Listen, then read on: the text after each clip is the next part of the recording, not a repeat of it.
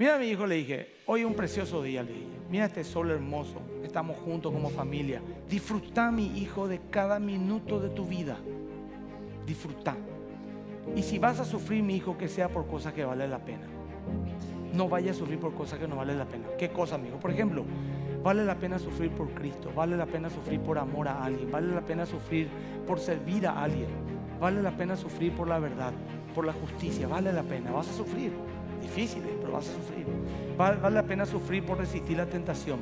Lo que no vale la pena sufrir es por ser un vago, por ser un desobediente, un estafador, un rebelde, un vicioso.